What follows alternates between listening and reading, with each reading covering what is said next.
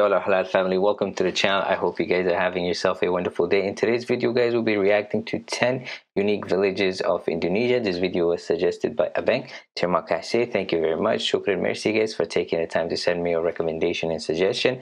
The video is by Facta Popular and the link is in the description in case you guys wanted to check it out. So inshallah we'll get started with the video momentarily. And at the end of the video I'll be sharing with you my observation and reaction. So please make sure you stay until the end. With that said let's get started with our video. Okay, so let's check with the 10 most popular villages in Indonesia. Hai para pencari fakta. Banyak hal menarik yang tersebar luas di wilayah Indonesia. Salah satunya adalah tentang kampung yang unik. Pada umumnya, kampung-kampung ini Oh, wow. terlalu jauh berbeda dengan That's so kampung lainnya yang ada di cool. Indonesia. Looks Hanya like saja hats. ada sedikit ciri khas yang muncul sehingga terlihat lain. Nah, nggak disangka nih guys, di balik luasnya wilayah Indonesia, ternyata kampung-kampung unik ini bakalan bikin kamu penasaran dan ingin datang ke sana loh. Kira-kira apa aja nih 10 kampung terunik yang ada di Indonesia? Yuk kita simak ulasannya versi channel Fakta Wow. Populer.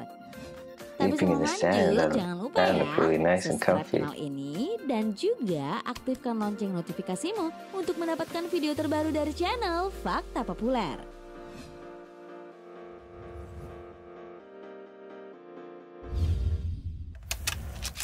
Kampung Bisu. Kampung.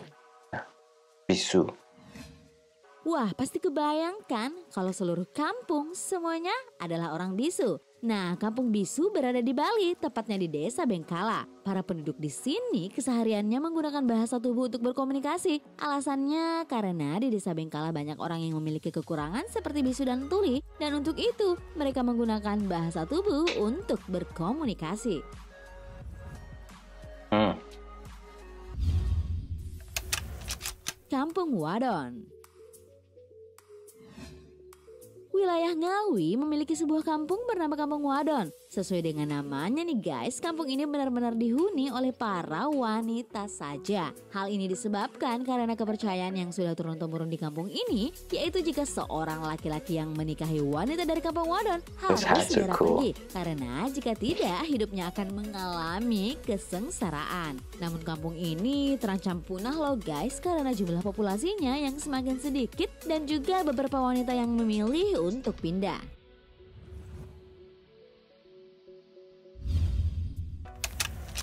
Kampung Janda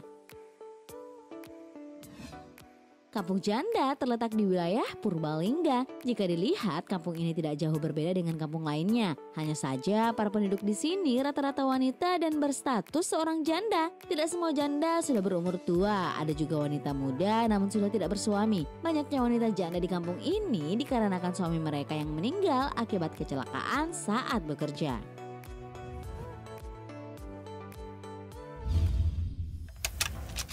Kampung Idiot Hmm, kok namanya kampung idiot sih?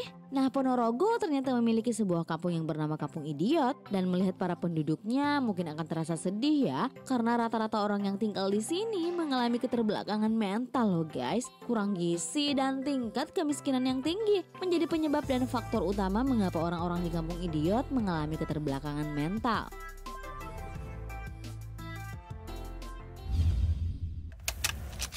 Kampung Pasir Kampung pasir berada di Madura. Jika pasir pada umumnya digunakan untuk bahan bangunan, pembuatan jalan atau konstruksi lainnya, di kampung ini justru pasir dipakai untuk tidur. Setiap rumah yang ada di sana pasti memiliki sebuah Oh. kamar atau ruangan yang dikhususkan untuk tidur dengan pasir sebagai alasnya. Oh, they just sleep on the sand. Kampung No Smoking Melihat dari namanya, Kampung No Smoke yang terletak di Sulawesi Selatan memiliki aturan di mana seluruh warganya nggak boleh merokok loh guys. Bahkan orang yang datang dan berkunjung di luar pun juga tidak boleh merokok. Dahulu aturan ini hanyalah sebuah larangan yang tidak tertulis, namun kini peraturan tersebut sudah dibuat secara resmi.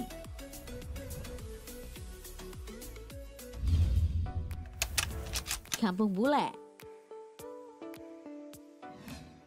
Kampung Bule di Aceh merupakan salah satu kampung unik yang ada di Indonesia karena di sana banyak sekali bule. Namun mereka bukan warga asing yang sedang berlibur, melainkan orang asli Aceh yang memiliki fisik seperti orang Eropa.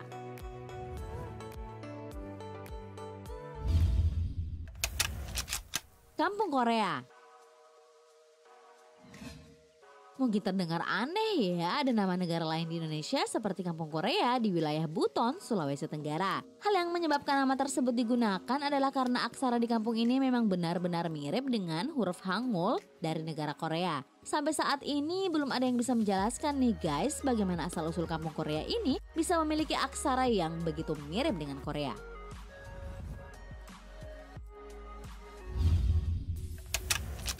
Kampung Teletabis. Teletubbies. Kampung Teletabis berlokasi di Dusun Ngalepen, Yogyakarta. Kampung di sini memiliki bentuk rumah yang mirip dengan rumah Teletabis, yaitu berbentuk dome. Bentuk yang unik ini dibuat bukan tanpa alasan pasca gempa besar yang melanda Yogyakarta tahun 2006. Arsitektur bangunan ini dibuat untuk tahan terhadap gempa dan juga api.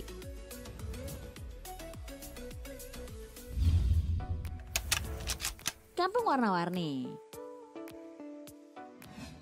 Kota Malang memiliki sebuah kampung unik yaitu Kampung Warna-Warni. Dahulu rumah-rumah di sini merupakan pemukiman yang kumuh, namun saat ini Kampung Warna-Warni berubah menjadi salah satu objek lokasi yang banyak dikunjungi oleh wisatawan.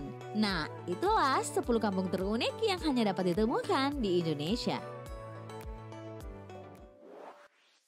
Terima kasih telah menonton. Jangan lupa like dan share. Nonton juga video Wow, guys, well, that's interesting. So I think the first one was uh, you know for deaf people, and then they had some uh, for those who have may- maybe are mentally challenged. And there's one um, that was basically sand uh, that they were sleeping uh, on, and like in their bedroom they had sand, which was cool.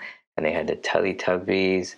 No smoking one is cool. I hope they can uh, do that all over Indonesia. that would be really really nice. So that's uh, cool. It's uh, nice people are being a little bit creative with some of them. So I, I enjoyed it. Uh, it was pretty interesting. Thank you very much, guys, for suggesting it. I hope you guys enjoyed it too. If you did, please don't forget to like, comment, share, and subscribe. And if you'd like me to react to another video, you can put your suggestions in the comment section below. As always, Tirmak I say thank you very much. Shukran merci, guys, for all your love and support. I hope you guys have yourself a wonderful day. Take care of yourself and your family. And inshallah, I'll see you guys in the next video. Take care. Wassalam.